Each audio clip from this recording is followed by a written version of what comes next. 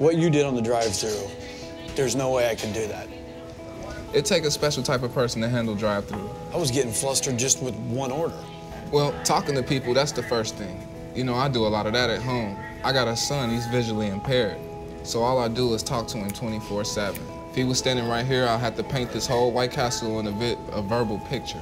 I've met people that would be in your situation and would be down. I depend on this job to take care of my family and stuff. That's why I work so hard at it.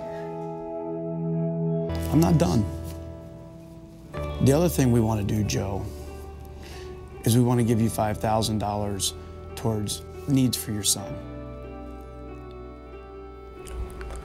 I just never thought when I started at White Castle that there would be these type of opportunities out there for me.